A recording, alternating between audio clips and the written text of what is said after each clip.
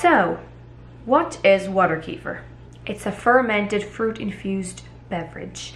Can help with inflammation as well as having high probiotic contents which promote healthy bacteria in your gut. Is there a difference between kefir and kombucha? Yes, there is a difference. Kombucha is made with a mushroom, otherwise known as a SCOBY, and kefir is made with gel-like grains. They actually look a little bit like cauliflower florets. More I can't say because I have never actually made kombucha.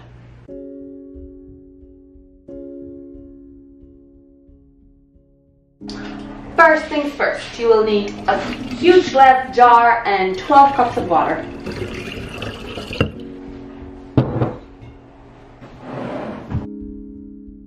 One cup sugar, Make sure your sugar is completely dissolved before you pour in your kefir beads. You can also melt your sugar in a little bit of hot water, but make sure your kefir water is at least at room temperature before you pour in your beads, otherwise they will disappear. They will melt. One cup kefir beads. Some people let their kefir beads sit at room temperature for a couple hours before they make kefir, but it's not something I do. I just use them straight out of the fridge.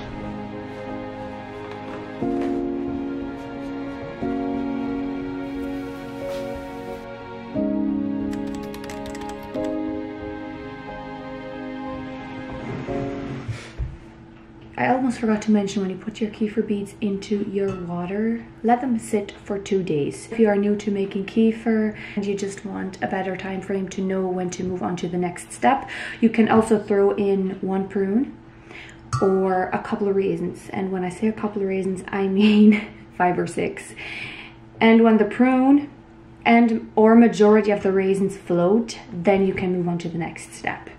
My kefir has now been sitting like this for three days, which I usually only go by two days, but three days is fine. That's okay. There is there's nothing wrong with it if you go an extra day. Now we move on to the next step.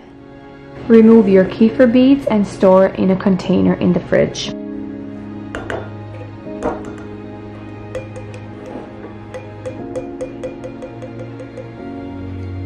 Add your fruit of choice. I choose raspberries. If it happens that you don't have any fruit on hand, you can also use juice. Substitute your fruit for juice. Anyone, any juice will do.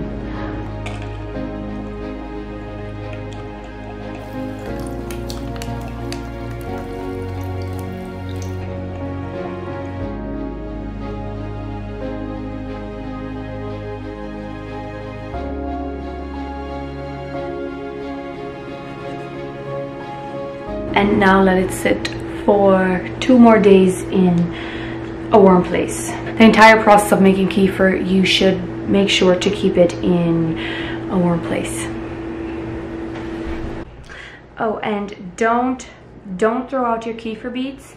Put them into a container and store them in the fridge. You can make multiple batches of kefir and they can last you years. They will multiply like crazy and since you only need a cup, we usually end up giving away our kefir beads to somebody else that is interested in making kefir but doesn't have any beads. You can also throw another prune or raisins in with your fruit. Just make sure to throw them out once you are done with your steps.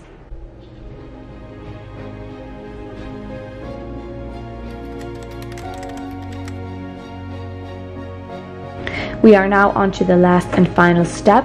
Remove your fruit, throw it out, or if you wish you can blend it and pour it back into your kefir. Although I find that I only have to do that when making pineapple kefir I feel that the blended pineapple adds extra flavor that would otherwise be missing from the kefir.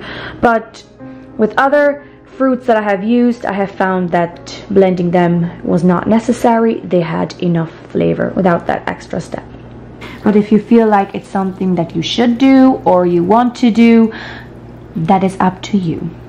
You can make your kefir however you like it. There you have it. There is your kefir. Four beautiful bottles of kefir along with a mess, but that's fine. After bottling, some people put their kefir on their counter so that they get fizz a lot faster. But if you do that, you have to remember to burp your kefir, otherwise it might explode on you. And that has happened to me and it's not fun. I, I prefer to put mine in the fridge. I'm not a fan of kefir that has too much fizz. That's why I put it into the fridge so that I can control how much fizz it gets and how fast.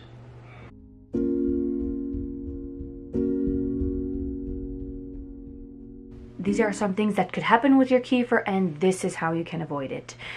I actually got this question yesterday so I thought I might throw it in because maybe there's more people. Maybe more people will have that problem and are going to be wondering what to do about it.